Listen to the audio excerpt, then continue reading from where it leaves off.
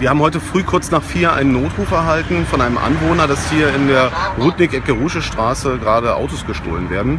Und äh, meine Kollegen von der Zivilstreife sind hierher gefahren, haben tatsächlich einen Wagen festgestellt, der, so wie es aussieht, gerade entwendet werden sollte. Da saßen auch Personen drin. Und bei der Überprüfung hat dann ähm, der Täter Gas gegeben und hat meinen Kollegen mitgeschliffen. Äh, und zwar so, dass er dabei schwer verletzt wurde. Die vierte Mordkommission hat jetzt hier die Ermittlung übernommen. Äh, aufgrund der Schwere der Verletzungen äh, bearbeitet das eine Mordkommission und ähm, wir fahnden jetzt nach dem gestohlenen Fahrzeug. Können Sie was Näheres zu dem Fahrzeug sagen? Ja, nach den ersten Ermittlungen handelt es sich um einen weißen Audi, äh, der jetzt in der Fahndung ist.